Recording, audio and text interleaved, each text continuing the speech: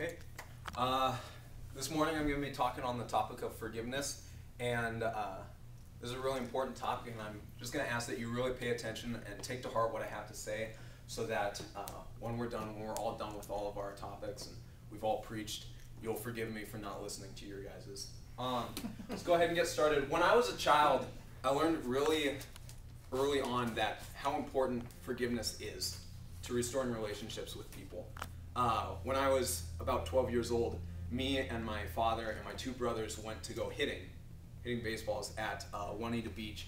And, um, you know, something that you have to know about me, I'm really not into the whole baseball thing. I kind of just wanted to go to hang out with my family.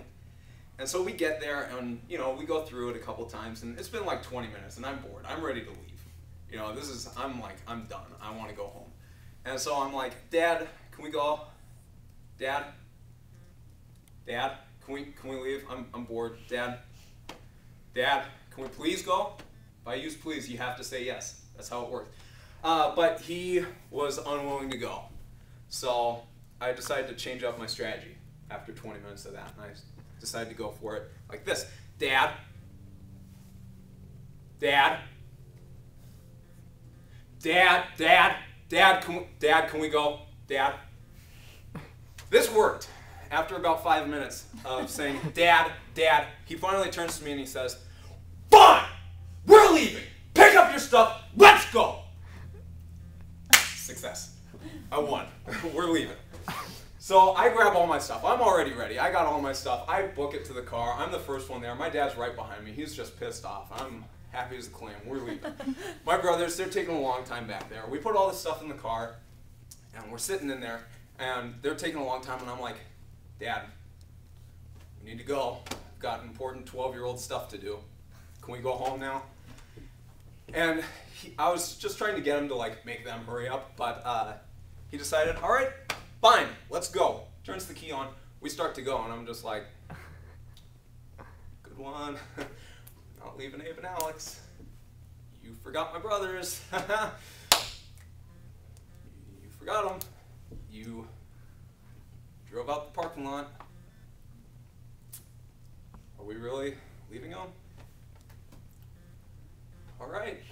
So I'm starting to feel worse and worse. Like he's just making me feel bad. And about two miles down the road, he sees this man walking by and he says, Hey Josh, see that man right there? He's probably going to go and kidnap your brothers. My dad is an expert for tact, I'm telling you.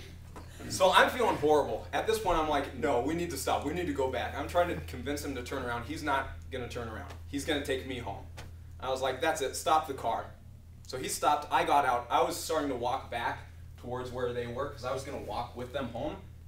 I saw him turn around. He went and picked them up. And then on the way back, past me, and left me walking home. I love it. Mm-hmm. At this point, when I saw him drive by, I was like, wow, my dad is a jerk. He's just a big jerk. Like, what a jerk. My vocabulary developed way later in life. So as I'm walking home, I'm ruminating on this. Ruminating, vocabulary, later on. So I'm ruminating on this, and I'm thinking about it, just how big of a jerk he was, like how mean he was. When I get home, I'm just upset.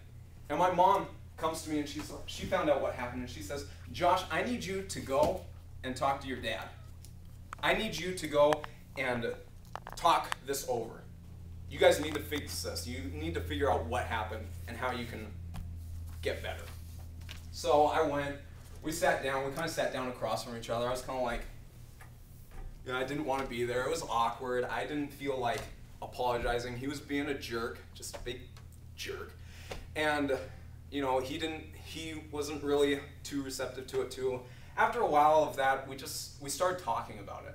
We just worked through it a little bit. We just recognized that we had hurt each other, that I had annoyed him, that I pushed him to that point, that he had hurt me from what he said and leaving my brothers, things like that. And we just, we humbled ourselves and we apologized to each other. We forgave each other, and our relationship was restored. I learned that this is really important, especially in our relationship with God. Because we do things that breaks our relationship with God. And in order for us to be restored to that, we need to have forgiveness. We need to receive that forgiveness. Donald Miller, the author of Blue Like Jazz, says that forgiveness is bearing with the scars inflicted by another person, yet continuing to work with that person to move past it. Hmm. It's not ignoring that you have that hurt and that pain, but it's choosing to move past it. We all have a need for a restored relationship to God. We all sin. We all screw up. We all break that relationship. And so it's important that we do that. We all need forgiveness. When we sin, we separate ourselves from God.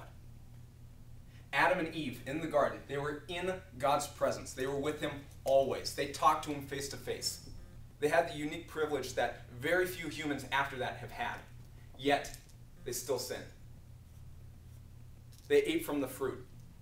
And because of that, they had to be removed from God's presence. They were covered in shame. It says that they were naked, they were ashamed of each other, they were ashamed of God. They hid from God's presence. There's no more relationship there. But God did not forget them. It says in the text that He made skins to cover their shame. Even though we fail, God is still faithful to us. He will not forget us. This situation is not unique to Adam and Eve, however. Romans 3:23 says, "For all have sinned and fall short of the glory of God." For all have sinned and fall short of the glory of God. I did a Greek word study of this text. I found something surprising about the word all. In the Greek, the word that they use is all. All of us sin. Every single one. If you think that you, this doesn't apply to you, you're wrong. Because we all sin. We are all responsible for our separation from God. Sin is a, will, a willful act of disobedience to God and his intended purposes. This is the problem of sin that we separate ourselves from God. With every single sin that we commit, we pull ourselves just a little bit further away from God and His intended purpose for our life. Although we pull ourselves away from God, He is gracious and has provided a way back to, to Him. Even though we fail, God is faithful to us. Jesus is our way back to the Father through the forgiveness that He gives. God knew that He had to find a way for us to return to relationship with Him. He knew that right when Adam and Eve sinned. He knew that. He knew that we would continue to break relationship with Him, to break that bond that is supposed to encapsulate our relationship. So He decided to work that through Israel, through Abraham first, and continue that work through Jesus Christ. A lot of people have trouble with this, saying, you know what? Why is it that I have to come through Jesus? Why, why shouldn't I be able to go my own way? God is the God of the universe. He created everything. He is the eternal judge. He gets to choose the means by which we come to him. Just like the engineers and the city planners who decided that we're going to take a bridge to Mercer Island, and that's the way, the main way, it's the same with God. He gets to choose the way. He gets to choose the bridge that we cross, and that bridge is Jesus. Psalms 2 6 says, I have installed my king on Zion, my holy hill. God has chosen Jesus to be that salvation for us, to be that restored forgiveness to God. Jesus fulfills all that he said, all that God said he would do. Acts 10:43 says, "All the prophets testify about him that everyone who believes in him receives forgiveness of sins through his name." Everything that God promised through the prophets, everything that he promised to Abraham, everything that he promised to all of Israel is fulfilled through Jesus. Abraham was promised that he would be a blessing to all nations.